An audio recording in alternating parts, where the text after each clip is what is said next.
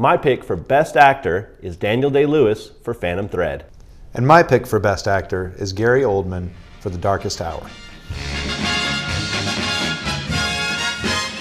Here we are again with Daniel Day Lewis being nominated for a Best Actor. And I just, you know, he, his body of work, once again, is just so uh, amazing. He's our best living actor in a lot of people's minds. And then he sort of announced, and it may not be true, but he's announced this is his last performance. And Hollywood loves a good story, you know, beyond just the performance.